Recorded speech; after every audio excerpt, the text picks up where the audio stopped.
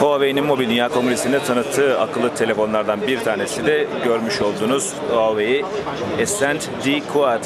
Ee, bu telefon adını taşımış olduğu 4 çekirdekli işlemciden alıyor. Huawei'nin kendi e, 4 çekirdekli işlemcisi bu. Mobil Dünya Kongresi başlamadan önce çıkacağı müjdelenmişti. Telefonda Android 4.0 Ice Cream Sandwich çalışmakta. Gördüğümüz kadarıyla e, ham sürüm var. Üzerinde herhangi bir özelleştirme yok. E, telefonda 4.5 inçlik 1280 x 720 piksel çözünürlüklü HD ekran var. IPS LCD ekran. E, bunun yanı sıra 8 GB e, dahili flash bellek, 1 GB RAM, 32 GB'a kadar destekli e, micro SD kart yuvası dikkat çekiyor. Cihazın arkası yumuşak plastikten yapılmış, oldukça pürüzsüz, biraz dokulu bir yapısı söz konusu. 8 megapiksellik bir e, kamera var cihazın arkasında. Full HD kayıt yetenekli ve çift led flashlı. Arkada bir mikrofon deli dikkat çekiyor. Altta kırmızıya boyanmış bir e, hoparlör ızgarası var. Huawei logosu oldukça şık duruyor.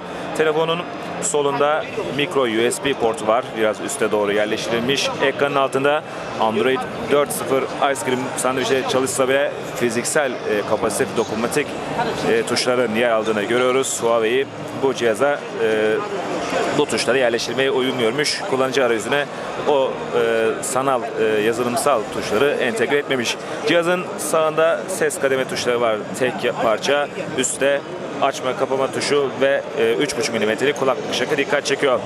E, telefonda Dolby Mobile ses desteği var. Hoparlörden onu da söylemeden geçmeyelim.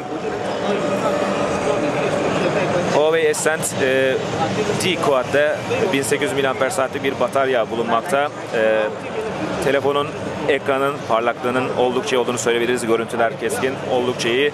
4 çekirdekli işlemcinin performansı da iyi. E, cihazın ekranında geçişler e, iyi şekilde yapılıyor bunu söyleyebiliriz. E, cihazın tepkileri hızlı. E, kamera uygulamasına bakacak olursak bu hızı aslında biraz daha iyi anlayabiliriz. Cihazın ön ve arka kameraları arasında geçiş hızlı bir şekilde yapılıyor. Görmüş olduğunuz gibi. E, kamera arayüzü de oldukça basit bir şekilde hazırlanmış. E, burada ayarlar yer alıyor. E, görüntü ayarlarını buradan yapıp e, fotoğraf ve video çekim modları arasındaki geçişi de üstte görmüş, görmüş olduğunuz anahtardan sağlayabilirsiniz. E, görmüş olduğunuz üzere ana ekran farklı bileşenleri buraya eklemeniz mümkün.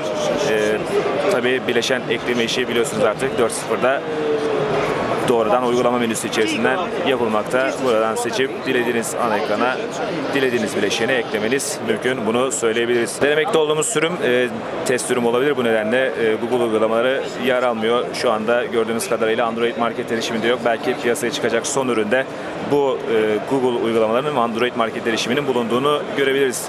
Huawei Ascend e, D Quad ile ilgili aktaracaklarımız şimdilik bu kadar.